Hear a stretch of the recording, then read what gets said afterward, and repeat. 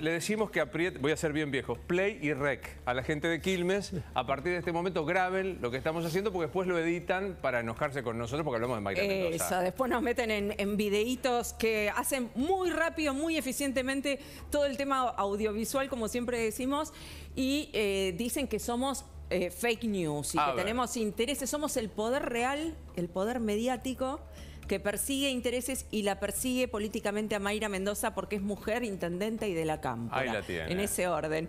Justamente contábamos que ayer Kisilov y el Cuervo Larroque fueron a darle un respaldo muy explícito a Mayra Mendoza. Escuchen al Cuervo Larroque. Y cuando la verdad tenemos que venir a, a bancar a la compañera, ¿no? Porque, porque es así. Un día fue Axel, otro día era yo, otro, y así va a seguir siendo siempre. Pero que sepan que a más ataque, más fuerza nos dan. Ahí estaba. Estaban presentando un plan solidario, pero eso parecía que no. les importaba demasiado. Lo que realmente les importaba era bancar a Mayra Mendoza. ¿Y por qué? Mayra Mendoza, como te decía, nos incluyó en un video que subió a las redes sociales donde ella durante 10 minutos se dedica a tratar de desmentir la información que dio. Primero el portal El Disenso y que después ampliamos nosotros acá también en La Nación Más sobre el manejo irregular de las cooperativas. Vamos parte por parte para desmentir punto por punto lo que dice Mayra Al Mendoza. próximo video. Estamos haciendo como un- una tarea de edición para que nos, nos editen en el próximo Esperemos video. que también lo difundan. ¿no? Claro que sí. Bueno, como les decía, ella siente que la atacan por ser mujer de la cámpora y medianamente joven también. La, ata- la atacamos por, Por la edad. No, el más viejo soy yo, así que tranquila que por ese lado no va de ninguna Quizás, manera. quizás te, te da envidia. Vamos a la primera parte del video. A ver. y que tengas toda la información necesaria para saber por qué mienten y que vos elijas en quién creer. Nuestro municipio efectivamente contrató cooperativas de trabajo para realizar tareas de mantenimiento, limpieza, riego, puesta en valor y embellecimiento de los principales accesos y espacios públicos de nuestro municipio. ¿Y por qué lo hicimos con cooperativas? Porque cuando asumimos nuestra gestión, en el área de parques y paseos, de servicios públicos, había solo 23 personas para esas tareas. 23 trabajadores que son insuficientes para poder mantener limpios más de 150 espacios que tenemos en Quilmes. Y por eso decidí continuar con el trabajo que hacían las cooperativas en el municipio de Quilmes desde el año 2009. Bueno, hasta ahí estamos todos de acuerdo. Si Nadie poca cuestiona gente. que se contraten Sí. cooperativas en sí. El punto es que son cooperativas que están gerenciadas por funcionarios muy cercanos a ella, pero vamos por partes. Sí. Eh, lo que ella omite decir, dice, es un sistema que se empezó a aplicar en el 2009 y es un sistema que está también acusado en la justicia por irregularidades. El Barba Gutiérrez está procesado, ratificado por la Cámara Federal junto a exfuncionarios justamente por el desvío de fondos a través de cooperativas que eran eh, también contratadas por el municipio de Quilmes. O sea, que no era un sistema non Legal santo, y- y ya no cuestionado. era un sistema muy Claro. cuestionado por las irregulares. Vamos al eh, corte 2. Yo sí cuido los intereses de mis vecinos. Yo sí represento los intereses de los vecinos de Quilmes. Ellos, periodistas y dueños de medios, tienen otros. Y sería bueno saber a qué intereses responden para mentir tan impunemente sobre nosotros como lo hacen. Por eso, lo primero que hice ante esta operación mediática fue autodenunciarme. Bueno, ahí, el tema de la autodenuncia. Ya lo contamos acá. ¿Por qué Mayra se autodenuncia? Porque lo que ella especulaba es con que la causa quedara en el juzgado federal de Quilmes, que lo maneja el juez Armela, que es un juez kirchnerista, y que no llegue a Comodoro Pi, como terminó pasando. Ahora están los dos juzgados, porque en Comodoro Pi no iba a tener la misma posibilidad de quizás manipular la causa como si la puede tener en un juzgado de Quilmes, en donde tienen más influencia política, obviamente, el gobierno de Mayra Mendoza. Vamos al siguiente tape.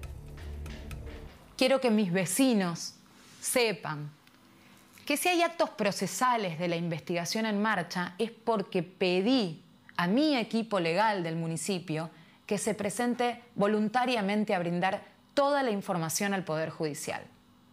Porque todas las contrataciones se hicieron respetando los procedimientos administrativos a través de expedientes auditables por los organismos de control.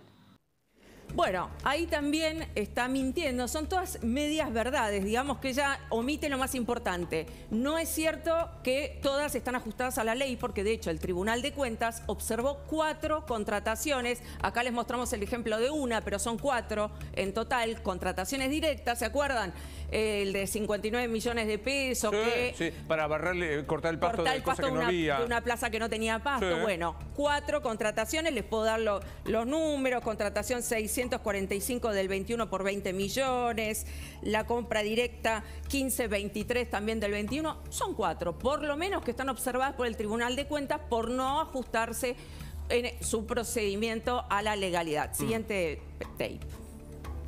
Porque en ninguna de las cooperativas figuran funcionarios de esta gestión ni familiares. Ahí está, ahí te quiero ver.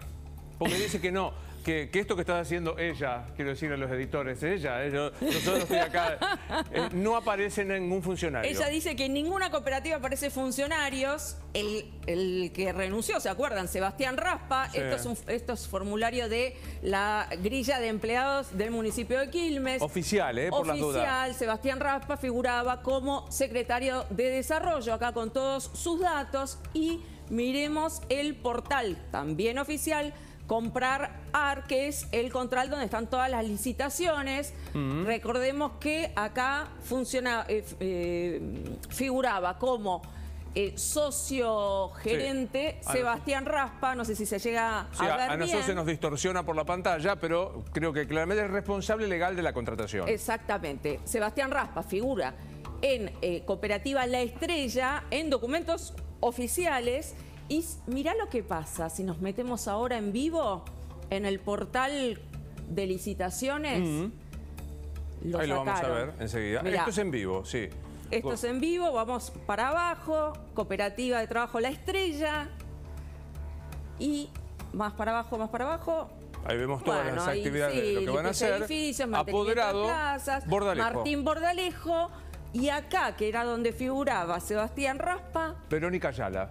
mira. No está más, cambió. No está más, no está más. Se cambió. Lo cambió. Y no fue el único cambio. ¿Se acuerdan de las offshore también? Sí, claro. Bueno, Claro, vamos. porque recordemos que estas cooperativas giraban dinero a unas sociedades offshore que son legales, quiero decir. ¿eh? Se Las offshore- presume, o sea, eso es lo que tiene que Claro. investigar la justicia, pero escucha a Mayra. A ver.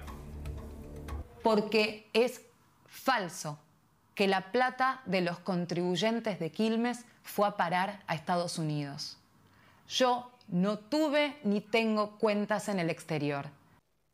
Nunca dijimos que Mayra tuviera Jamás, cuentas en el jamás. exterior. Sí contamos que hay tres eh, offshore, tres cuentas en Miami, tres sociedades en Miami, que una pertenece a Sebastián Raspa, la otra pertenece a Martín Bordalejo y la tercera a Escosari, que miremos los vínculos que tiene Escosari. Estas tres también fueron modificadas después de que surgió el escándalo. Pasemos a la siguiente placa. Ahí está.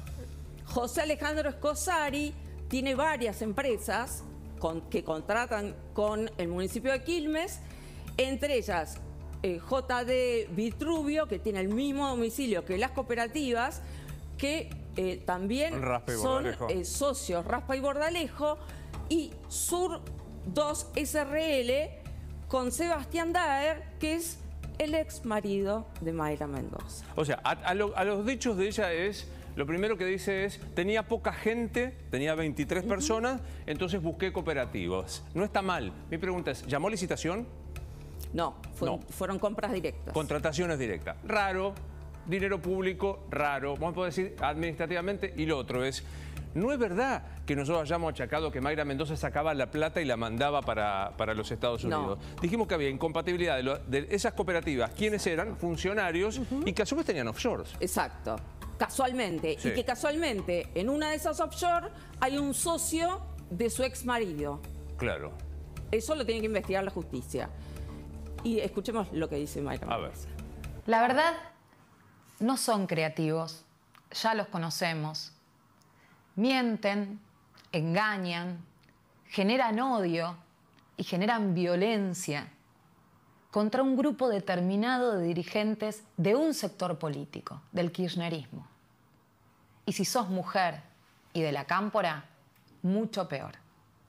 Bueno, estamos generando odio porque investigamos a dónde va la plata de los contribuyentes, ¿no? Yo creo que los vecinos de Quilmes no creen que estemos generando odio porque justamente estamos viendo a dónde fueron 535 millones de pesos en contrataciones directas a cooperativas cuyos gerentes eran funcionarios y manos derechas de Mayra Mendoza. Claro.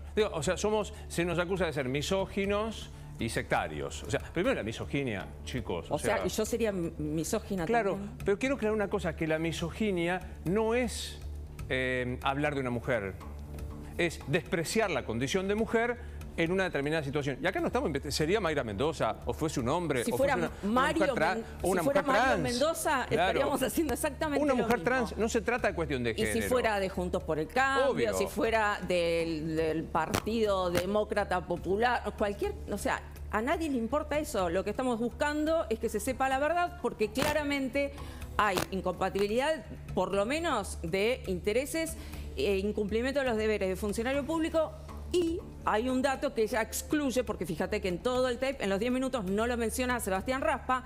Sebastián Raspa renunció después de que eh, diéramos a la luz el portarle el, el disenso y después nosotros eh, todo este escándalo, con lo cual alguna razón debe haber. Claro, yo me atrevo a decir que digo, a mí me parece muy riguroso lo que está haciendo Guadalupe. Me atrevería para el próximo video a hacer un par de preguntas. ¿Por qué contratación directa? Y no licitación pública. Me va a decir porque está dentro de los montos admitidos. Pero digo, uno puede hacer contratación directa o si cree que la igualdad ante la ley se puede hacer, se llama licitación directa. ¿Por qué estas cooperativas que están vinculadas? Y no es delito, insisto, tener un offshore no es delito. Ahora, el, el kirchnerismo siempre se encargó de escrachar a los que tenían Sí, claro, este, offshore. fuga. ¿No es cierto? Claro. Fuga, Entonces. ¿Por qué? Estas serían las tres preguntas para el próximo. ¿Usted quiere hacer una otra pregunta Yo más quiero que haga un videito Mayra contestando eso. Ahí está, muy bien. Nos vamos con...